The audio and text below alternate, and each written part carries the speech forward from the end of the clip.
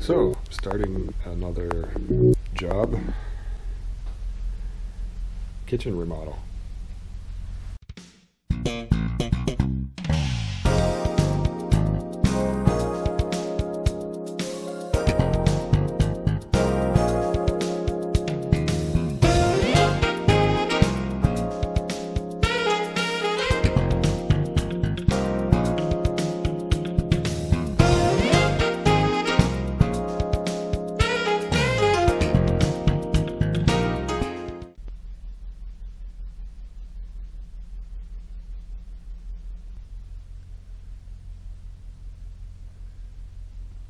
So, this is my complete technical drawing for this kitchen remodeling job. I'm doing a zinc countertop, and I'm going to do it with a backsplash built into it. So, I'm experimenting with some new techniques. That's going to be in part three of this video. The top part of the drawing shows the three expanded views for the three pieces that get sandwiched together to make the zinc countertop. And so I do a quick layout just to help me visualize that it's not obvious by looking at it. But as far as the cabinetry goes, it's just going to be a run of lower cabinets. There are no upper cabinets on this job. And there's going to be a bank of drawers on the left. On the right, there's a 14 inch overhang for seating. And then the sink goes more or less in the middle. It's a large, heavy cast iron drop in sink, which is easier to install as opposed to undermount, which means more work for the edging and soldering. I'm going to make the cabinetry in two pieces. There's this wing that attaches to the side that supports the overhang. That's just going to be open shelving for some extra storage. So let's get started. The uh, first step is to just cut up some pieces of wood roughly about an eighth inch oversized, and I'll set them aside for cutting up again later on. So here I'm cutting up some knotty pine to make the drawer boxes. I always make drawer boxes out of pine because it's soft and it's easy to staple together with the narrow crown staples and glue, which is my preferred method for efficiently making drawer boxes. And I'll be flattening this material and planing it down to just under 5 eighths of an inch. I'll be using the Undermount KV full extension slides. These are the drawer bottoms. It's a material called Sure Ply, which is similar to quarter inch Luan and I often use Luan, but the Sureply is a little bit more rigid and it's primed on one side. It's just extra material I had in the shop, so I'm just using it up. But these are the drawer bottoms, and again, I'm cutting them just a little bit oversized. And they'll be cut to the finished size after I have the rest of the drawer parts put together. This is called Baltic Birch, which is a much more rigid panel, solid hardwood veneer core and I'm going to use this material for the interior panels of the doors which are frame and panel. This is a painted kitchen, everything is white so I'm using a variety of different materials. The door frames, face frames, and door fronts will be poplar which is harder than pine and it takes a paint finish quite well and I prefer to use it for painted materials that would benefit from the extra durability. Pine is very soft and it dings up pretty easily so it's not going to take a lot of abuse for what you get in a kitchen. So I'll be narrating through this video, chiming in from time to time to further explain what I'm doing, but hopefully most of it will be obvious. Here I'm starting to cut up some of the poplar, which is rough cut. It is not surfaced, so there's going to be a lot of milling, joining, planing, and replaning and milling in this video to get the parts ready. In part one, I'm going to make the doors and face frames out of this poplar material, and then in part two, I will make the cabinet boxes and put everything together and get it ready for install. The zinc countertop will be in part three, and part four will be the on site work, which includes the demo of the existing horrible kitchen and the installation of the new cabinets. So, enjoy the video. I hope you find it useful. This is a simple, low budget kitchen remodeling job that involves a more high end zinc countertop that I'm doing just kind of to experiment with and uh, we'll see how it turns out.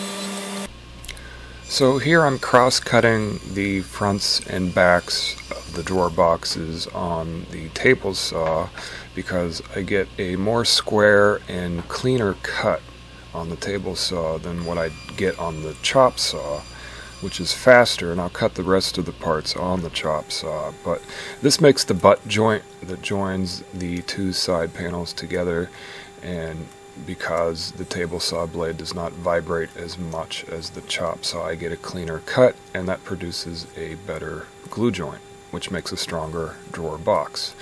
So, just a quick tip of the day.